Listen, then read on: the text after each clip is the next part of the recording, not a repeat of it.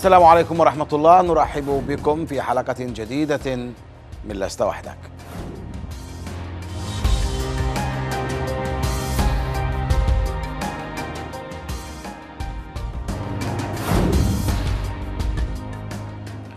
هل يستطيع العالم أن يحمل شيئا من الألم الذي يحمله قلب أم نائل؟ خديجة أحمد القدسي. هذه الأم اليمنية التي تشابه جبال وطنها شموخا وتجلدا وصبرا. أم لشهيد لم تر جثمانه منذ أن استشهد قبل عام وأم لشاب آخر يتسع ثقب في قلبه ويتسع هو في قلبها كثقب ولا تجد في يدها ما تستطيع فعله سوى الصبر.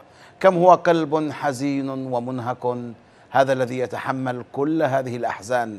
أحزان دخلت تباعا باب بيت خديجة أحمد القدسي في الوقت الذي قررت فيه ميليشيا الحوثي والمخلوع أن تدخل عنوة مدينتها تعز أن تكسر أبوابها وهي مدينة أبوابها قلوب أهلها الطيبين. قصة المناضلة خديجة أحمد حسن القدسي وأسرتها في المادة التالية. نتابع ثم نعود. أسرونا وجابونا لهنا مسكونا وجابونا لهنا. أسرونا الساعة ستة الصباح ست ست ونص كذا الصباح. أسرونا وأنا أجي مروح البيت. دخلونا لهنا ضربونا عذبونا خبطونا. بعدين دخلونا هنا هذه الغرفة. هنا هذا مفتوح. آه ضربونا. بعدين جاء واحد اسمه أبو أبو محمد الصوفي. قال نزلونا البدروم مع جاء نزلونا البدروم هذا. بعدين نزلونا البدروم البدروم الثاني دخلونا. عذبونا هناك. ها؟ جلست حدود أسبوع. المرة الأولى أسبوع وذيك اليوم ما صرت أبكي وأعمل خرجوا النوم مغرب. نفس اليوم. من المرة الأولى خي خرجوا النوم قال لسنا أسبوع. روح قوم شتت شتت. ضابط خباط بالبنادق. خباط بحدايد آه، حق بناء ها ضرب الظاهر بالراس. بأي وين ما جاء جاء لا صدقش بأي مكان. كان يخبطاك أينما جات جاءت يا داعشي يا ابن الكلب يا يدعمكم آه، الملك سلمان. آه، مدري إيه. المهم الحمد لله حصلناه ما حصلناه والحمد لله صامدين الأسر الثاني أنا مروح من عند بيت العزاني. صيحوا لي من هنا من عند بيت من هنا وأنا فوق بالمكة عند حوش الكويت بيت الصبري. صيح لي يا أولاد ياي ما معك أنا وقف أنا وقفت كذا التفت عاد أنا بلتفت كذا وضربنا طلقة هنا. على طول أول ما ضربنا كذا فلتوا الأرض. ها؟ فلتوا كذا قمت وأنا ماسك كذا أشوف دم. بديت أسوى مسومة ثقيلي هربت جلست قليل مقابل عيادة علي سيف. وضرب الطلقة الثانية فوق رأسي. صاحب الحرس جاي يجري لعندي ما لو ما صايح. قام ضرب على أصل الحوضة ضرب على الحوضة يعني على أصحاب الحوضة. صاحب الحرس ضرب على الحوضة هنا فوق بيت الحربي. وترامه هو. بعدها بس عفاق قلت له قال لي بس عفاق بس أشوف دور سيارة ما فيش. صيح لأصحابه ما فيش فايدة. قلت له بيتنا قريب. روحت ومشيت من هنا من الفكة هذه لا جنب البيت حق ما عاد دريت إيش في نفسي إلا قضينا بالمستشفى مرقات أشوف ال- ال- التخطيطات هذا مدري إيش فوقي وهذا بعمارة الحربي.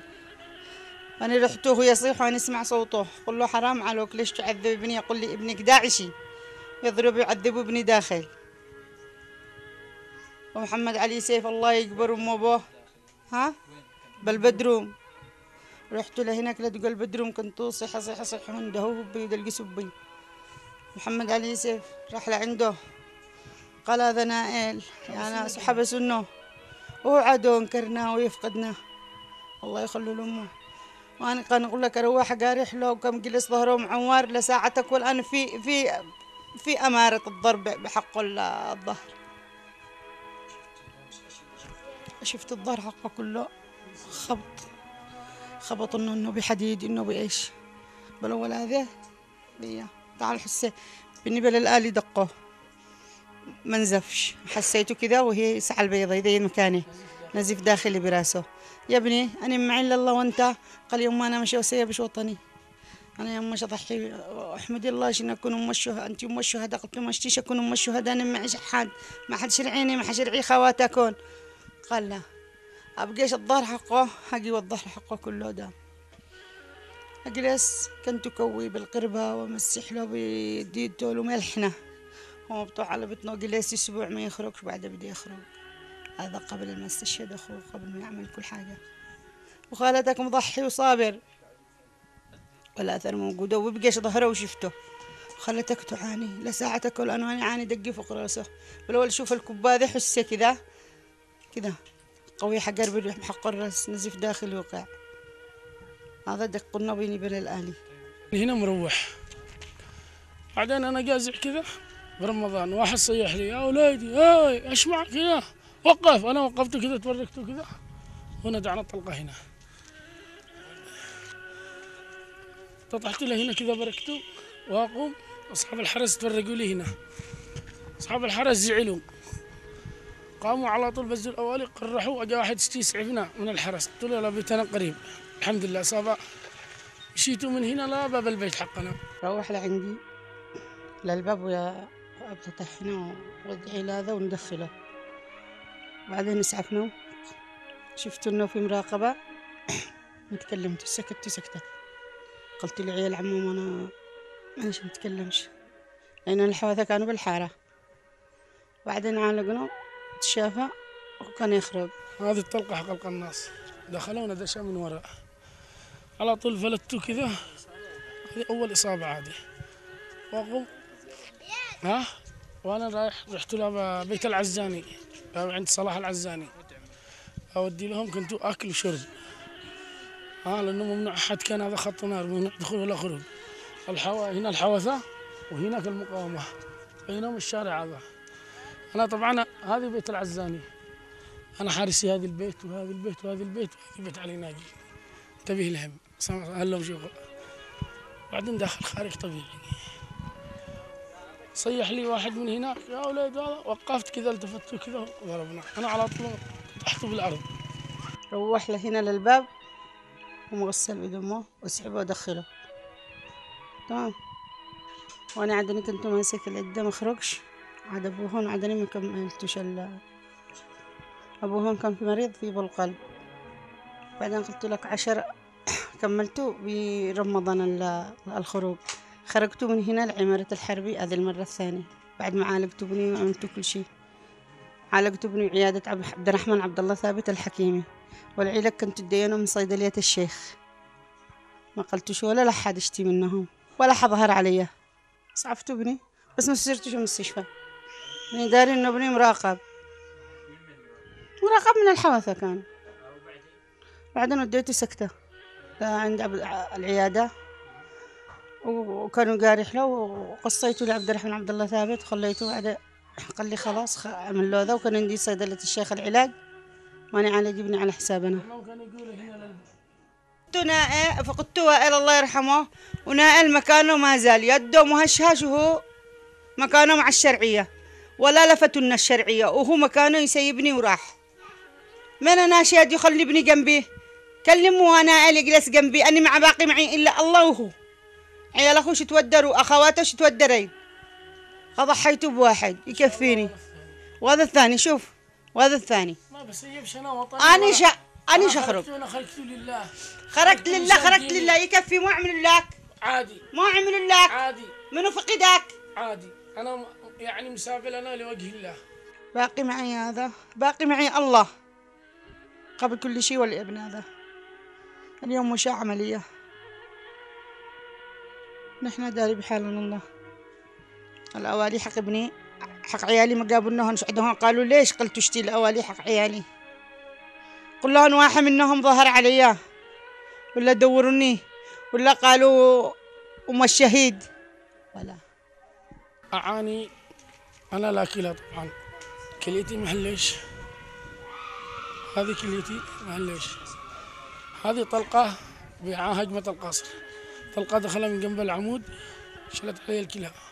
طلقة دخلت من هنا وساكن هنا بالحالب. طلقة ريحت يدي هذه.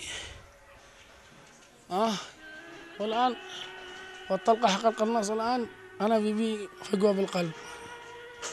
الآن زاد الطلقة هذه يعني خليتني للأسوأ معي تقرير اشتي سافر الخارج عمل عملية القلب المفتوح. مهدد يعني بالموت بأي وقت. لأنه الآن بيبي أطرش دم واصل.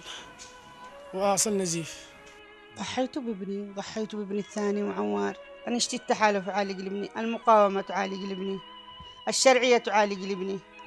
شعبنا المستلح لابني بين الحياة والموت تطرش بدام خالتكم معلة خمسة وعشرين ألف. معاش. الشيقي معي البنت مع ثلاثة عيال زوجة سيبه معي آذن ثلاثة. كنت أشوف الموت تصرف بيومك. وهذا هو مرته قمت زوج اشتره وحتى إن شاء الله إذا يعني ما أموت أموت وأنا بالجبهة. لا يمكن أن أنا فلت المقاومة ولا فلت بلادي إن شاء الله. أكون الشهيد الثاني. تبع المقاومة. مشان أنصر بلادي وأنصر ديني. مع المقاومة. قلبا وقالبا وش أكلهم وش أشربهم وش أعمل المستحيل. ماذا شو أضحي بعمري كلهن عيالي وطني. كذا. أهرب من القدر. تدخل مسافة أهرب من القدر. وأهرب أسيب عيالي يكونوا بالمقاومة وأنا أهرب بنفسي. 30 سنة بالبيت. لي ثلاثين سنة بالبيت هذا عايش جبتوهن هنا؟ مستحيل أسيب. وسيب وطني. أنا مع المقاومة قلبا وقالبا. لو ما أموت. ما أضحي كيف ما يموت كره عيالي وبناتي وعيال عيالي. أنا مضحي.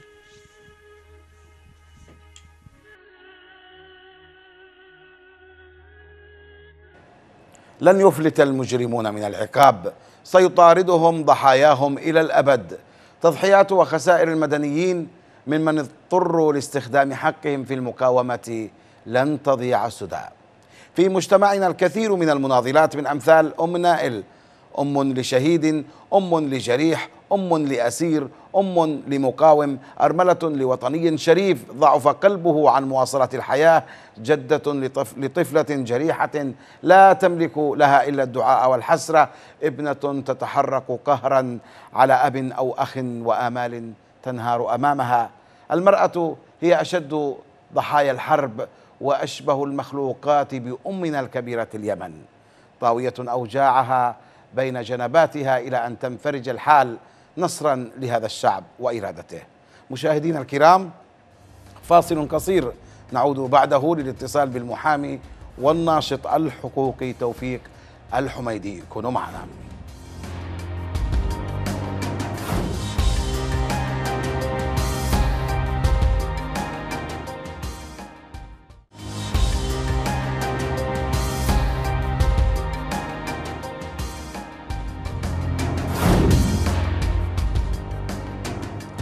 مرحبا بكم مجددا مشاهدينا الكرام كما أرحب بضيفي المحامي والناشط الحقوقي توفيق الحميدي. مرحبا بك أستاذ توفيق.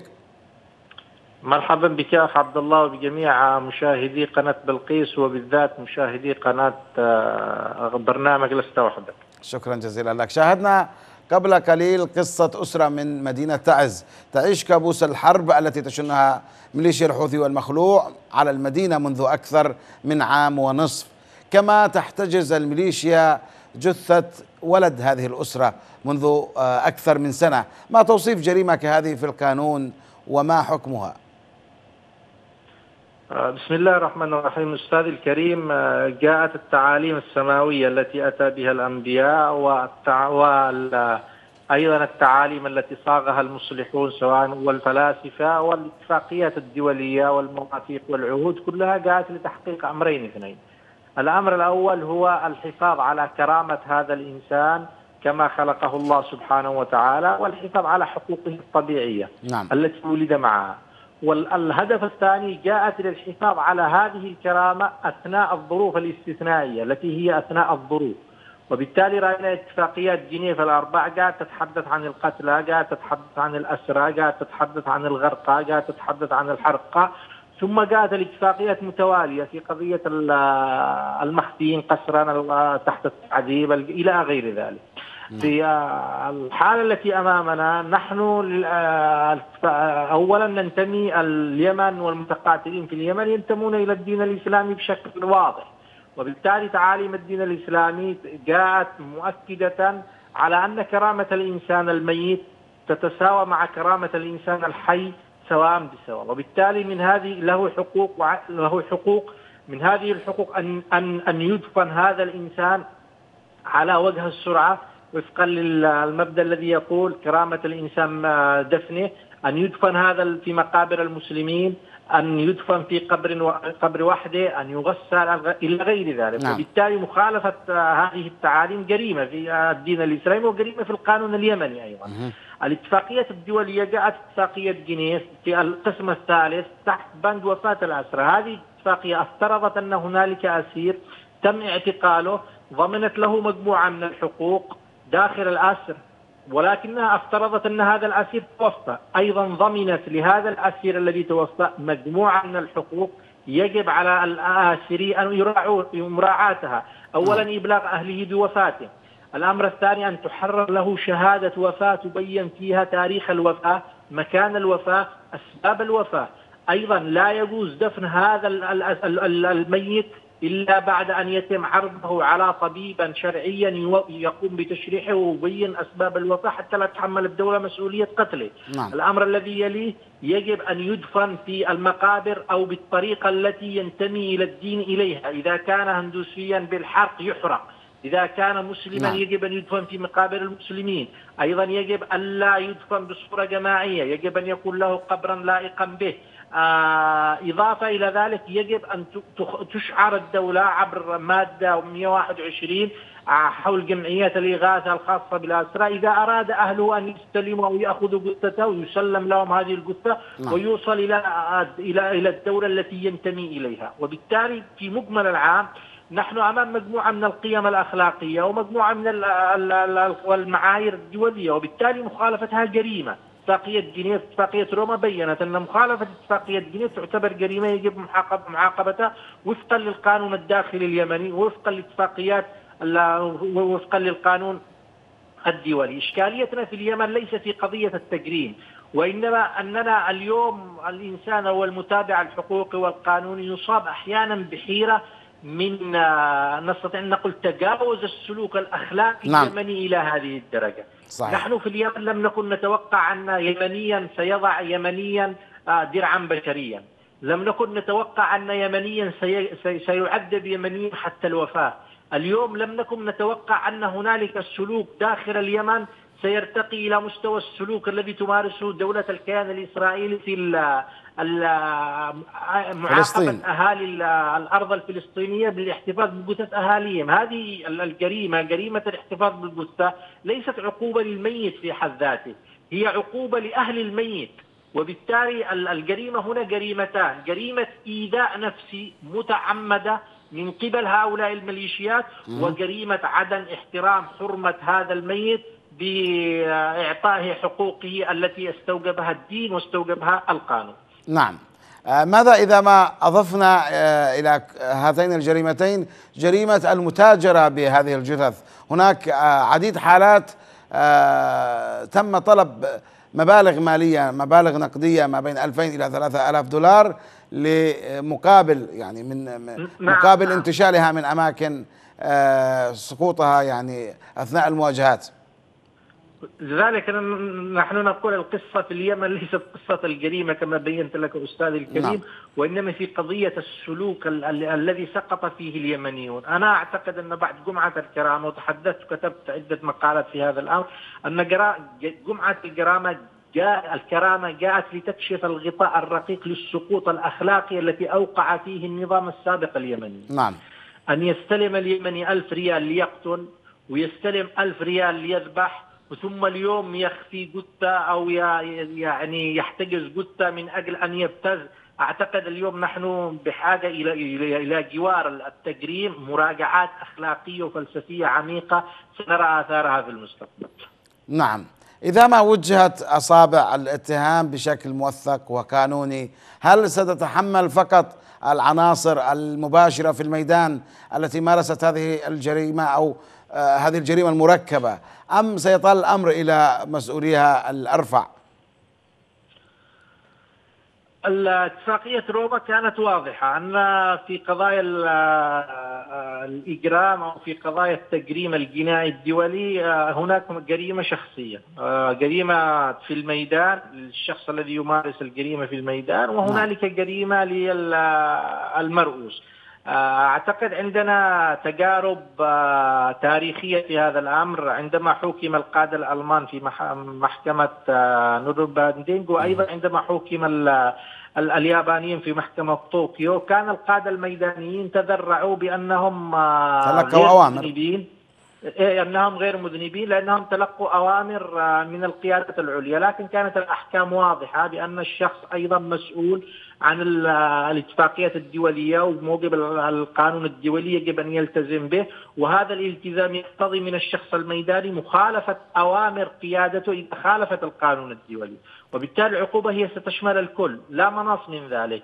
هذا على مستوى الجانب الجنائي لأننا عندما نتحدث عن إدانة نتحدث عن شقين. يعني لا لا لن, لن يتحجج لن يتحجج أبو كرار وأبو هرار وأبو شنفر أو, أو يعني هذه الألقاب أنهم يجهلون القانون الدولي والقانون الدولي الإنساني. لا يوجد لا يجوز التذرع بالجهل بالقانون. أنا أعتقد أن اليوم اليوم أنا أعتقد بشكل واضح أن إخفاء الشخصيات خلف هذه الأسماء هم لإدراكهم بالضبط. للمسؤولية الجنائية التي ستطالهم. محاولة للهرب.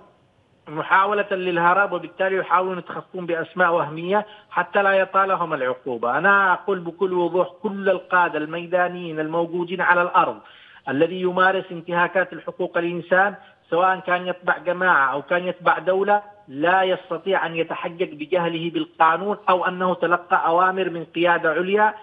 لأن القانون الدولي هو مسؤولية الجميع بما فيهم القادة الموجودين على الميدان ويجب مخالفة الأوامر التي تنتهك القانون الدولي من القادة وإن كلفه الأمر حياته. نعم. آه، كنت تكمل أن هذا ان ما آه، أما اما على المستوى هذا على المستوى هذا على المستوى الجنائي. أما على المستوى الشخصي نعم. على مستوى التعويضات أعتقد أن المحكمة الجنايات الدولية تحدثت في البند 75 بكل وضوح عن أن للمحكمة أن تحكم أو تقدر هذه التعويضات سواء التعويضات العيني العينيه وهناك شقين من التعويض. الشق الأول الذي تحكم به المحكمة هو إعادة الحال إلى ما هو عليه. نعم. سواء هدم البيت إعادة البيت إلى ما كان عليه. وفي هنالك قضايا لا يمكن أن يعود الحال إلى ما ما, ما هو عليه. صحيح. إلى طبيعته. هنا أوجبت المحكمة التعويض المادي ثم نصت المادة المحكمة نفسها أو الميثاق في المادة 76 عن إنشاء صندوق سيادي من الغرامات من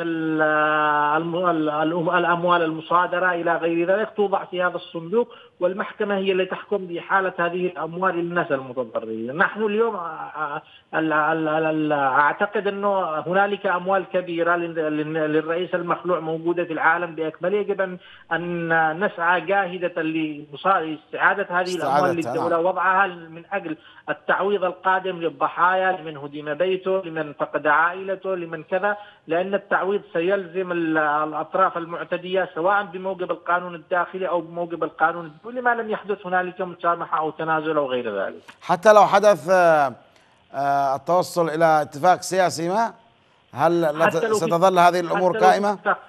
حتى لو وجد اتفاق سياسي يجب الاتفاق السياسي الا يتجاوز العداله العدالة الانتقالية، العدالة الانتقالية لن تتجاوز جبر الضرر.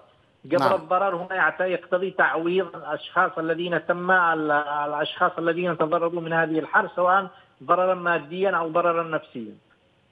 آه، إذا ما انتقلنا إلى عمق المهمة الحقوقية آه، لكم كمهتمين ومتخصصين في هذا الجانب وهي مسألة الرصد والتوثيق هل هناك أي تحسن طرأ ميدانيا على تقييمكم لأعمال آه، الرصد والتوثيق والتوعية واتجاه المقاضاة؟ بالنسبة أنا أعتقد بالنسبة للرصد والتوثيق كما قلنا أيضا في برامج سابقة هنالك رصد تطوعي يقوم به مجموعة من الشباب. أعتقد كل الحوادث ترصد لكن قضية الرصد النوعي الذي يصل إلى مستوى معين هنالك أعتقد في قصور هذا القصور يعود إلى الدرجة الأولى إلى التأهيل الراصد يحتاج إلى تأهيل مكثف.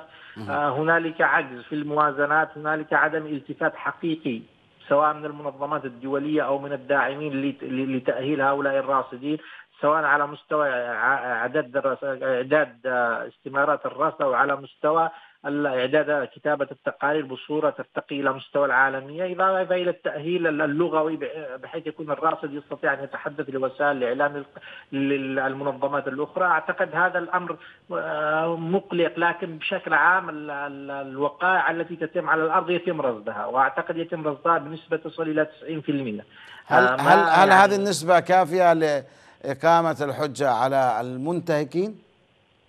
بمعنى نعم، هي هل. هل هل سيفلت. أحد السؤال الذي يعني آه، يطرح نفسه على الجميع الآن هل يمكن أن يفلت أحد أو يفلت أحد من من ال- العقوبة والمساءلة ونحن في زمن الصورة في آه، القرن الواحد والعشرين هذا تساؤل عام يعني ويعني يلامس خيال الجميع لن يفلت أحد من العقاب سواء حتى في السابق في زمن عدم وجود الصورة لن يفلت أحد من العقاب. بالضبط.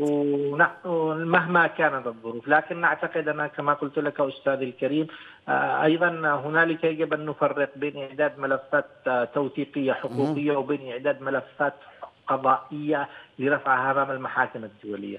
نحن في في قصور في الملف الثاني. أنا جلست مؤخرا مع رئيسة محكمة آه، الجنايات الدولية في رواندا الأستاذة حكمة عصمة الأردنية وكانت واضحة بأننا العرب والمسلمين لدينا قضايا عادلة لكن أيضا آه، عندما نرفعها أمام المحاكم الدولية تكون هذه القضايا مرفوضة من حيث الشكل. يعني بحيث اتباع الإجراءات المعينة. نحن بحاجة كما قلت لك الراصدين والمهتمين بجانب حقوق الإنسان بحاجة إلى تأهيل دولي بمعنى أن يكونوا خبراء على مستوى دولي قادرين أن يقفوا أمام هذه المحاكم قادرين يعدوا آه، ملفات آه، دولية قادرين يسافروا إلى عدة دول يلتقوا بمحامين يدركون المغزى من كل هذه الجرائم.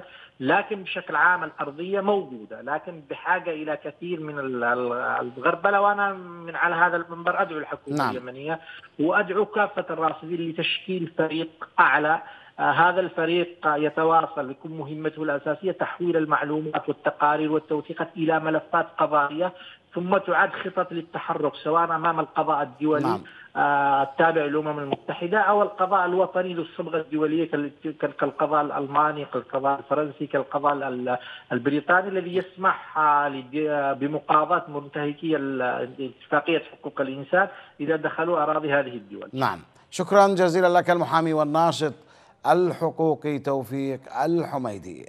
أعزائنا المشاهدين إلى هنا انتهت حلقتنا لهذا الأسبوع من لست وحدك. نذكركم بأن وسائل اتصالنا مفتوحة من خلال الإيميل الظاهر أسفل الشاشة أو عبر صفحتنا على الفيسبوك. كما يمكنكم مشاهدة الحلقات السابقة من البرنامج على قناة بلقيس على اليوتيوب أو قناة البرنامج على التليجرام.